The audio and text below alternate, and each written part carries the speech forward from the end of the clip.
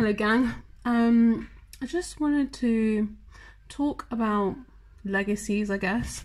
Um, I was on Facebook like literally 10 minutes ago and I saw a post from my old secondary school that um, our drama teacher passed away. He was he retired um, at the end of year 10 for me and I started at school in year 9 but he, he retired at the end of year 10 um, so it's been a been a while since he was teaching but um I was just saw that and I was just really, really sad. Obviously, so sad that someone's died. Apparently, he was at school for 20 years before he retired. But I think just in that two years for me, like the legacy that he had built at that school and like the community he created for like creative, like artistic kids that love drama, theatre, and that kind of coincided with music as well.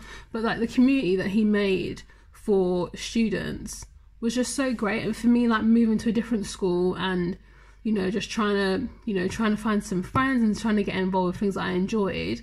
That was honestly so great for me to like be a part of um, a community like that that was so welcoming and like just seeing how like happy kids were um, to be involved in drama or whatever sort of like productions or shows and stuff was always really cool to me. And I just think like sometimes I'm like, what's the legacy I'm gonna leave behind? Like when it's so morbid, but like, when I die, I want to know that like it'll just be nice to know that like I've done something that's helped people, or I've done something that's like my voice is so crackly. Ugh.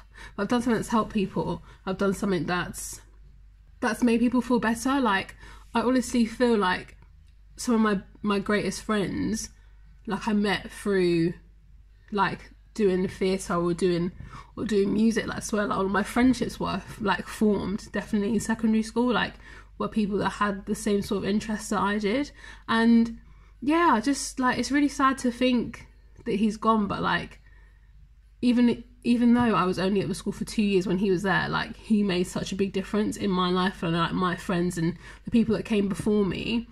Like he was such a great teacher that you know drama's not everyone's passion, right? But I think it's just really nice to. I don't know what I'm saying now. I feel like I'm confuzzled. But like, for the kids that wanted it, like that community was there, that sort of the friendships and like the fun that was it was all there, and like it's just so. It's really sad to think that he's passed away, but I guess I'm just thankful to have had those two years of him as a teacher and him as a director of our shows and all of that because I just think it was so I don't know, I keep saying it was just nice to have, but it really was so nice to have something that kept me like wanting to go to school and kept me wanting to be a part of something that's bigger than than just me, you know. But anyway, R.I.P. Miss Mitchell, you will be missed. Sorry for my crackly voice, but yeah, I just wanted to talk about that. Anyway, peace.